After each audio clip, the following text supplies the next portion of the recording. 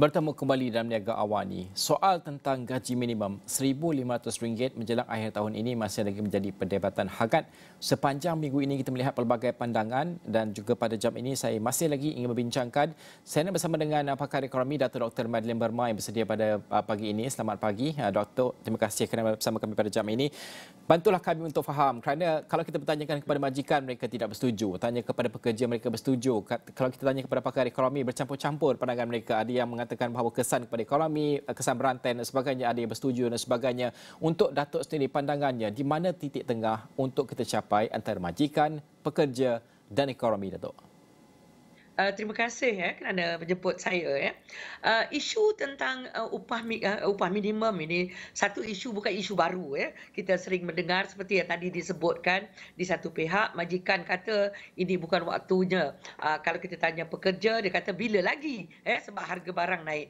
Jadi untuk faham perkara ini dengan lebih jelas lagi, kita perlu melihat hubung kait antara upah. Yang disebutnya di sini ialah upah minimum ya, bukan upah secara uh, keseluruhan.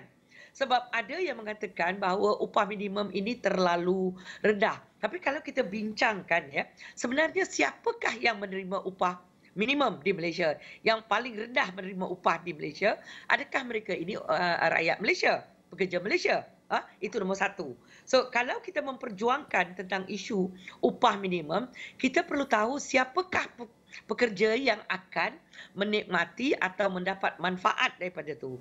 So uh, uh, tadi ada di, uh, dimaklumkan bahawa ramai ya kalau saya tak silap tadi saya dengar Prof uh, uh, uh, Syahri tadi Yusof tadi mengatakan bahawa dia kata uh, isu kerjaya juga. Eh. Jadi kalau kita nak sebut tentang upah minimum ini, uh, saya boleh katakan uh, ini bukan waktu terbaik untuk meningkatkan apa-apa jenis upah. Ini, ini, pandangan saya, pandangan peribadi saya. Uh, saya alasan saya. Ya. Nombor satu, ekonomi kita berada dalam satu landasan dalam proses pemulihan. Jadi bagi saya, kita boleh naikkan, majik, ataupun majlis ini boleh menaikkan upah minimum. Tetapi dalam masa yang terdekat ini dalam masa mungkin 6 bulan ini atau sampai hujung tahun pun bagi saya uh, kita uh, kita perlu fikirkan sewajarnya. Sebab apa? Satu saya bukan saya nak menyokong sangat. Orang kata ah, inilah pandangan kapitalis ini. Sebab nak meng, apa kata mengaut keuntungan. Sebab nak memerah pekerja. Tapi bagi saya upah minimum ini untuk uh, untuk ketika ini bagi saya biarlah kita redakan dulu. Sebab yang penting sekali ialah majikan itu ataupun perniagaan-perniagaan itu perlu pulih semula. Okey, itu nombor hmm. satu. Ekonomi kita mesti pulih dan kita sekarang berada dalam proses pemulihan.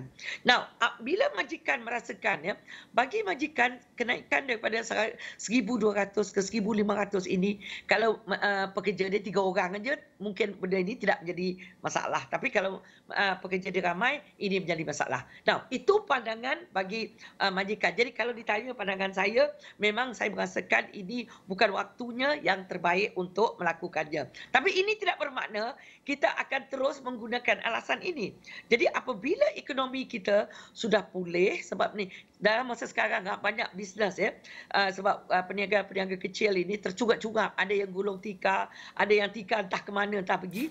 So bagi mereka sangat penting untuk mereka survival. Kebanyakan mereka sebenarnya uh, kebanyakan bisnes yang survive eh ketika MCO dulu ialah disebabkan oleh subsidi upah dia orang kata kalau tak ada subsidi upah kerajaan itu memang lama dah lingkup. Jadi bermaknanya sekarang moratorium dah tu, dah dah penghujung uh, uh, uh, apa nama yang bantuan-bantuan lain dah mula penghujung. Jadi mereka kata kalau naik pula upah minimum memang memang tutup apa gulung tikar sekali lagi. Uh, itu bagi saya kalau tanya pandangan saya. Tetapi dari segi ekonominya pula uh, pandangan ekonominya begini ya. Uh, apa yang berlaku bila uh, upah itu dinaikkan uh, kadar upah uh, ataupun upah minimum dinaikkan dia kata mesti disandarkan pada produktiviti. Hmm. Jadi kita dengar laporan mengatakan produktiviti kita sudah meningkat. Jadi kenapa perlu tidak dinaikkan pula uh, kadar upah minimum? Tapi isu dia sekarang apakah yang nak dinaikkan? Upah minimum ataupun upah gaji biasa? Sebab ramai yang berkata bukan saja upah minimum yang perlu dinaikkan, ada yang memperjuangkan supaya yang M uh, yang B40 tu gaji dia dinaikkan, M40 kata sebab harga melipat ganda sekarang. So jadi uh, kalau tak ni memberi satu pandangan bagi saya kalau kita menaikkan upah ni bagi saya ya, ini bukan waktu yang terbaik. Nombor dua, dia akan menyebabkan kesan apa kita panggil substitution effect. Majikan akan mengambil kesempatan ini untuk mempercepatkan lagi proses menggantikan pekerja dengan uh, mechanization, hmm. otomasi. Uh, memang itu pun yang kita nak. Tetapi adakah ini waktu yang terbaik? Sebab yang akan dibuang kerja bukan orang T20, M40 besar kemungkinan yang banyak bekerja di peringkat yang bawahan tu yang menerima upah minimum juga yang akan terkesan oleh itu. So bagi saya biar ada perbincangan yang lebih mendalam berkaitan dengan perkara ini. Datuk, saya suka Datuk membawakan perbezaan antara uh, upah minimum minimum dan juga upah itu. Kerana apabila kita melaksanakan RM1,200, kita melihat ramai sebenarnya uh, pekerja-pekerja B40 ini yang menerima hanya RM1,200 sebulan sahaja. Bermakna tanpa Betul. peningkatan gaji minimum ini, gaji mereka tidak akan yeah. dinaikkan dinaikkan pun oleh majikan. Bila tempoh bersesuaian untuk kita saksikan kerana mereka tidak menyaksikan kadar upah mereka mereka dinaikkan secara tahunan pun Datuk? Itu dia. Nombor satu tadi saya katakan yang menerima upah minimum. Sebab kalau kita tanya majikan, kita majoriti itu ialah orang asing, pekerja asing. Sebab pekerja asing yang banyak nanti yang akan mendapat faedah daripada kena, uh, upah minimum itu. Tapi memang tidak menafikan rakyat Malaysia ada. Okey, itu nombor satu. Bagi saya, kalau nak kerajaan uh, atau majikan boleh memberi bonus, insentif-insentif hmm. lain saya berkata tentang waktu di sini. Hmm. Saya bukan mengata untuk selama-lamanya. Yang kita nak sekarang ialah ekonomi makro kita ini tumbuh, kita pulih semula. Okey, balik kepada soalan you tadi. Sampai bila uh, keadaan ini uh, perlu berlarutan? Sedangkan uh, kalau kita tengok harga, eh, uh, uh, uh, upah kalau naik aja, you bayangkan. Bila naik aja upah minimum, you akan lihat harga nanti, harga barangan juga akan meningkat. Jadi hmm. isunya sekarang, adakah kita nak menguruskan upah minimum? Sebab isu hari itu, benda ini timbul sebab dia orang kata harga barangan naik. Tetapi bila you naikkan harga upah minimum, tak payah naik upah minimum banyak sangat pun. You naikkan 100 saja, besok pagi you dengar harga ayam, harga kambing, harga lembu dan sebagainya. Jadi benda itu akan diserap. Maknanya kenaikan harga yang disebabkan oleh kenaikan uh, upah minimum ini akan juga meninggalkan kesan bukan saja kepada uh, B40 tetapi kepada keseluruhan rakyat Malaysia. Jadi saya uh, masih lagi bertegas bahawa buat masa sekarang kita ber, uh, kita perlu uh, berhati-hati dulu. Kenapa tidak kita uruskan dulu? Bagi saya kerajaan perlu uruskan kenaikan harga barang dulu. Kontrol barangan, price control. Apa yang boleh dikawal? Saya sekarang saya bawa balik daripada kawasan Penan semalam. Ni masih lagi suara pun serak. Sebab bagi masyarakat Penan dia kata you tidak boleh bayangkan. Sebab mereka duduk jauh di pedalaman. Mereka nak membeli contohlah mereka nak untuk pertama kali mungkin mereka nak makan ayam. Ayam dia orang susah nak dapat. Daging-daging hutan memang tak ada masalah sangat. Dia kata harga ayam sekarang RM35 dekat pasar. So memang dia kata ini penan ni tak ada cash. Itu penan tetapi orang kata bagaimana mereka di bandar. Itu belum lagi uh, itu saya kata tadi harga upah minimum eh harga pula. Upah minimum belum lagi dinaikkan tu.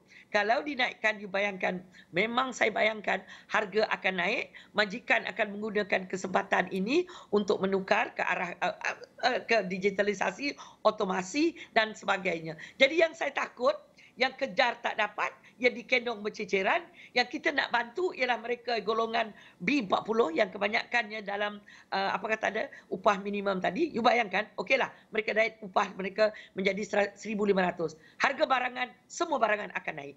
Jadi hmm. bagi saya, kita kena mendekati masalah ini bukan hanya dengan menaikkan upah minimum ataupun uruskan yang itu, tetapi harga barangan kita mesti juga uruskan dia dengan baik dengan bijaksana. Okey, ya. Datuk, secara ringkasnya bermaksud uh, dah pulih ekonomi nanti barulah kita rujuk kembali kepada uh, isu gaji minimum nanti. Betul.